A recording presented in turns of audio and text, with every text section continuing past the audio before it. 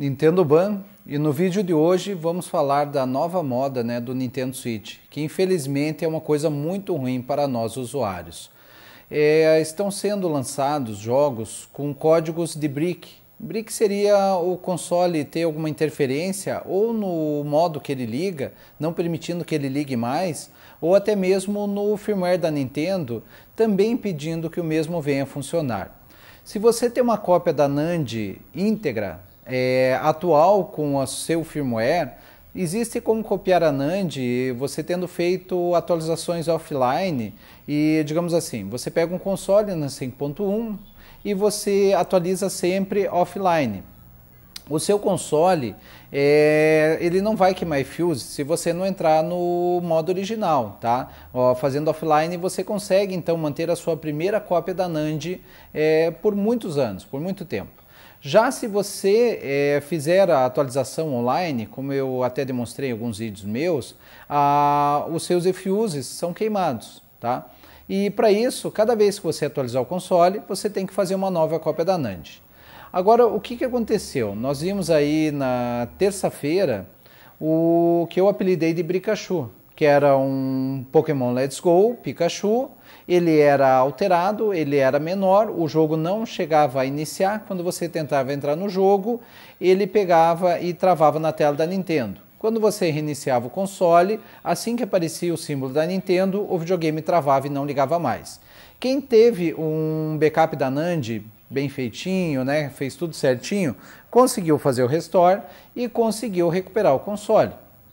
Agora, quem ah, não tinha o backup da NAND ou fez algum erro na hora de fazer esse backup, ou até mesmo atualizou o console e não se atentou que teria que ter feito uma nova cópia da NAND, acabou perdendo.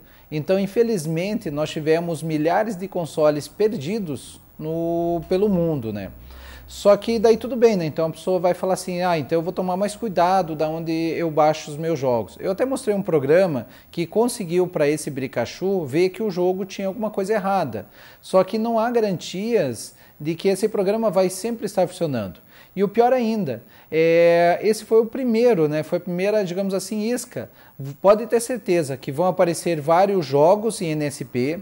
O jogo em XCI também permite esse código malicioso, tá?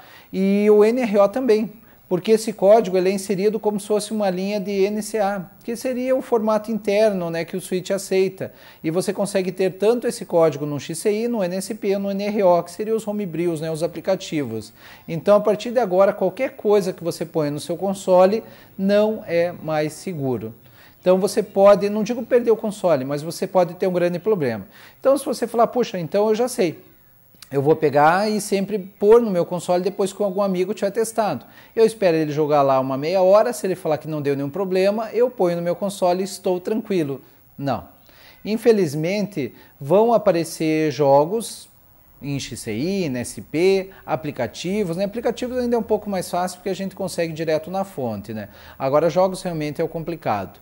E o, updates também, né, que são NSPs, DLCs, que são NSPs. E o que, que vai acontecer? Eles não vão pôr para executar automaticamente e já bricar o seu console. Né? É, o brick é inevitável, tá? Lógico, você pode restaurar a NAND e é, digamos assim, tirar esse brick, pondo uma versão, digamos assim, uma restauração antes disso ter acontecido. Lógico que não seria bem aquilo, mas sabe aqueles pontos de restauração do Windows? Aquilo não é muito bom, né? Mas, digamos assim, você tem como fazer mais ou menos aquilo. Agora, qual que é o problema? Eles vão ficar mais espertos e a guerra começou. Então eles vão pôr jogos funcionando perfeitamente e eles vão pegar, vão editar uma linha de comando desse jogo e vai ter lá, por exemplo, daqui três dias, daqui sete dias, ative o brick.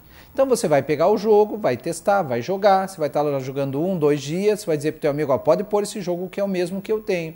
E ele vai pôr, e o outro vai pôr, e o negócio vai propagar. E daí quando der lá os três dias, os sete dias, ele vai ativar o, esse brick e vão perder vários consoles, né? ou pelo menos vão ter que ser feito o restore de NAND de vários consoles no mundo.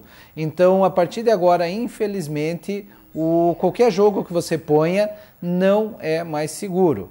Lógico, jogos antigos, lugares que você já tinha, né? Por exemplo, eu tenho um acervo muito grande de jogos, tá? É, eu posso mexer à vontade, porque o, digamos assim, esse, dá até para chamar de vírus, né?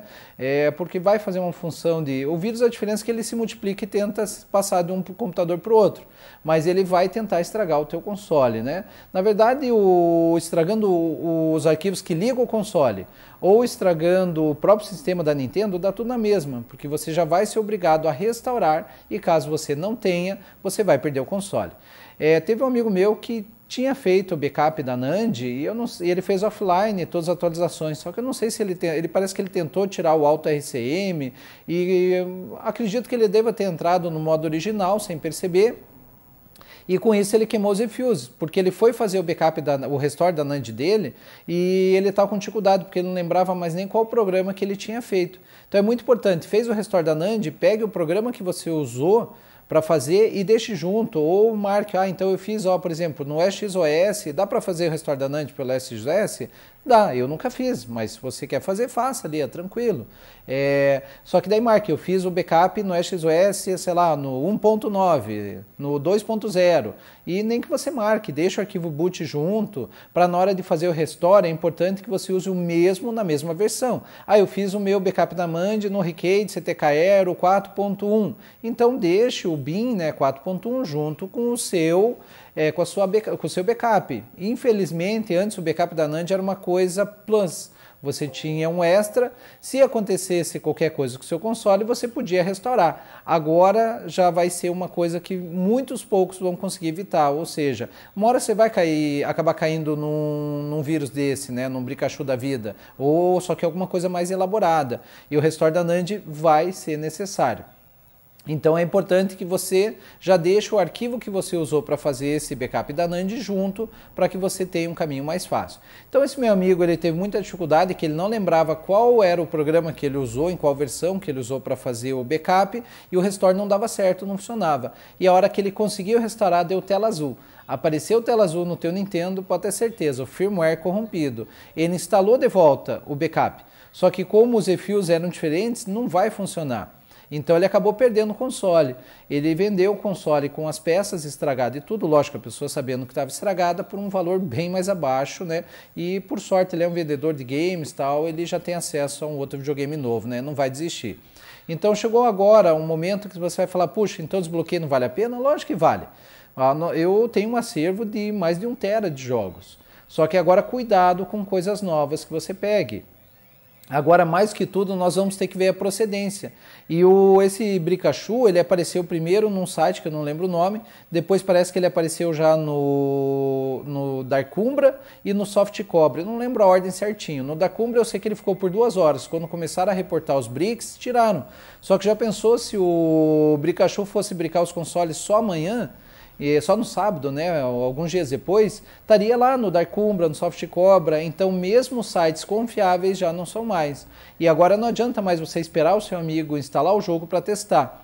É, vão aparecer alternativas para combater isso e pode ter certeza que virou uma guerra. Agora, o pessoal, não eu, né? Porque eu sou só um youtuber, né? Mas o pessoal que manja de verdade vai dar jeitos, né? Meios de combater esse tipo de malware e o pessoal que está fazendo isso, imagino que seja coisa de criança, né? Não imagino um adulto fazendo uma coisa dessa para se divertir. E esse pessoal aí, criança, adolescente aí, eles vão ficar lutando contra, tentando achar brechas para ferrar os nossos consoles. Então o desbloqueio ainda é muito efetivo. É, mesmo se acontecesse eu perder meu console, ainda seria mais barato do que alguns joguinhos que eu teria comprado, tá? Então ainda vale a pena comprar um segundo console se perder, só que tome cuidado o negócio começou agora, tá? E pode ter certeza que vai vir com tudo. Então, a partir de agora, nós temos que ter muito cuidado. Vou investigar mais, tá? Vou tentar dar um jeito de. Eu não vou dar muito spoiler, tá? Mas eu já estou pensando em algumas coisas para eu ajudar aí os inscritos do canal. É, agora, uma coisa que a gente já pode fazer fora, né, ter muito cuidado com o que baixa e não confiar que só porque um jogo está funcionando há dias que não tem um malware dentro dele, ou seja, um código que vai brincar o seu console, é nós mexermos na data do nosso console. Eu vou mostrar daqui a pouco como você pôr a data do seu console para um ano atrás, Porque se tiver uma data de start, né, que vai começar os BRICS, o seu console não vai ser pego, porque ele vai estar bem atrasado, e você vai conseguir reverter isso. Só que cuidado com uma coisa também, se você vai pensar assim, puxa, eu vou fazer já a minha cópia da NAND. Eu vou adotar uma política de fazer uma vez por semana a cópia da NAND. Ainda bem que eu tenho um HD grande, né, eu comprei um HD de 4 teras, e eu não vou nem compactar essas NANDs, eu vou deixá-las do jeito que elas estão, uma vez por semana eu vou ter. Porque se eu tiver algum problema, eu vou lá e ponho uma semana antes, uma semana antes. Porque qual que é o problema? Você pode pegar um arquivo BRIC e você nem ter noção que você está com ele. Então, o que, que eu falo para vocês? É, quando você for fazer a cópia da NAND, você não precisa dar um restore de fábrica, mas se você brincar o console e você precisar usar esse restore da NAND, é, quando você iniciar o seu console, já altere a data para um ano antes, tá? É, na verdade, se você puder até fazer o restore com a data alterada, melhor ainda. Mas quem acabou de fazer um backup da NAND, por exemplo, na quarta-feira, todo mundo começou a falar do Bricachu, é, você até instalou alguns jogos novos e daí você foi lá, puxa, vou fazer o backup da NAND, é o meu primeiro.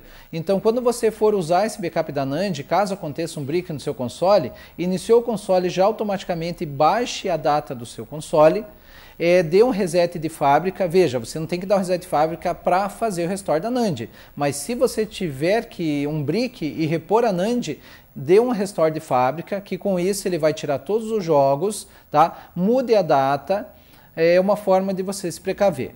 Então, para finalizar o vídeo, vamos ver como mudar a data do seu console para evitar pelo menos esses códigos de brick com uma data marcada, né? Que isso é o mais efetivo. O Bricachu, como ele começou a pegar muita gente muito rápido, as pessoas começaram a falar em questão de horas, né? Já tinha muita gente sabendo. Infelizmente, muita gente baixou e não teve tempo de instalar e passou para o amigo. Daí o amigo não ficou sabendo também, e daí isso acabou virando uma bola de neve. Mas acredito que uma grande parte da população do mundo mundo, já na própria terça-feira à noite, final da tarde, já estava sabendo do brick. Só que isso ainda levou milhares de consoles a terem que fazer o restore da NAND e com certeza alguns milhares foram perdidos, tá? É muito triste isso.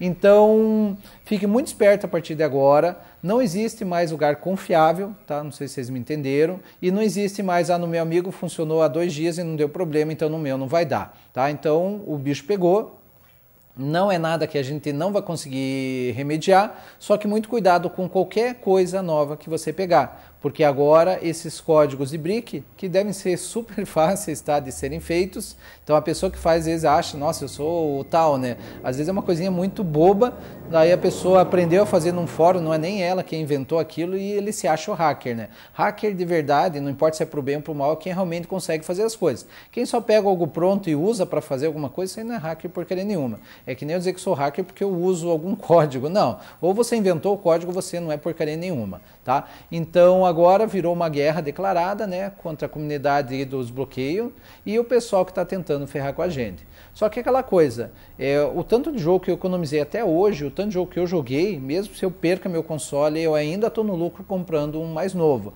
Só que eu não vou perder porque eu tenho backup da NAND e agora eu vou fazer uma cópia semanal de todos os meus dois consoles. Todos os dois parece que é bastante, né? Se bem que é, né? Eu vou fazer uma cópia então semanal dos meus dois consoles e vou sempre mantendo essas NANDs, tá? Vou deixar um tera de espaço só para cópia da NAND e vale muito a pena. Quem segue o canal sempre fez backup da NAND, tá tranquilo. Quem não fez, comece a fazer e se esperte que você pode estar fazendo hoje um backup da sua NAND com código de brick com timer. Talvez ainda não tenha aparecido esses jogos com o time, tá? Mas, e, ah, eu vou desinstalar então todos os meus jogos. Se você instalou o jogo, ele já ativou essa linha de comando, sabe? Tirar o jogo pode ser que resolva, mas eu acredito que não, tá? Então vamos só agora ver como que eu altero a hora do meu console para finalizar o vídeo. E boa sorte agora para todos nós. Então não importa qual é o seu desbloqueio, tá? BJ, tô com o Pikachu Eve, né? O Pikachu, né? O Eve, sem problema. Acho que a gente não tem que ter medo dos jogos também. Mas a gente tem que ficar esperto da onde a gente pega. E o pior é esse com o tempo, né? Que pode ser executado com o tempo. Então eu vou tomar muito cuidado a partir de agora quando eu pegar um jogo novo ou qualquer coisa nova. Vou vir aqui então definições consola. Vou lá para baixo em consola.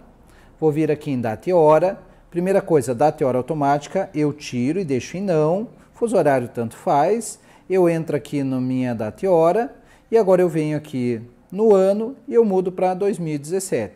Então, por exemplo, se tivesse um jogo que ele entra em ação às 17 horas do dia 16 de 11 de 2018, o meu não vai entrar. E daí os meus amigos, infelizmente, alguém vai, vai ter o console prejudicado, espero que tenha a NAND para restaurar e não perca o console, e vai começar a surgir o papo, ó, o console bricou. E daí com isso, tem gente que vai dizer, ó, oh, instalei tal jogo, vai ser meio difícil descobrir qual é o jogo, tá? Enquanto não inventarem um jeito de comparar um jogo, uma base, né, para você comparar o jogo que você tem com essa base para ver se tem qualquer coisinha diferente, tá? É, uma base confiável, a gente vai ficar meio que na sorte, né? Você não tem como muito prever se o jogo está com defeito ou não. Tem aquele meu programa, né, que eu mostrei na, naquele vídeo, mas aquilo lá são só para coisas muito mal feitas, como o Bricachô. Aquele Bricachô é brincadeira, né? Nem o tamanho batia. Agora, se fizer uma coisa bem feita, aquele programa vai deixar passar, ele não vai conseguir pegar. Então a gente vai depender de, uma, de um detalhamento, né, uma comparação minuciosa, linha por linha, tá, no jogo. Ah, vocês viram né, que o SXOS fez um jeito de você pegar o seu jogo, ou um jogo em cartucho em XCI, pô, isso aí é muito legal. E ele tem como tirar o ID do jogo. Então você pode ir na casa de um amigo seu que tem um jogo, lógico, se ele deixar você copiar, você pagar alguma coisinha para ele, e fazer uma cópia sem ID do jogo dele, e daí sim você sabe que está tranquilo, porque é um jogo original né, que você fez a cópia. Então, pus aqui 2017 e ok. Pode parecer bobagem, mas isso aqui vai salvar muita gente, mas muita gente mesmo, né? Então, não deixe de fazer a cópia da NAND, tá? Ela é obrigatória agora, antes já era importante, agora é obrigatória. E se cuide aí e pode deixar que eu estou correndo atrás tanto da informação para ajudar aqui vocês, né? Todos nós, na verdade, né? Porque até eu estou nessa, né? Quanto para fazer um jeito aí da gente poder evitar isso, tá? Então, estou com muitos projetos aí na cabeça, vocês vão ver novidades no canal. Um abração a todos e boa sorte a todo mundo.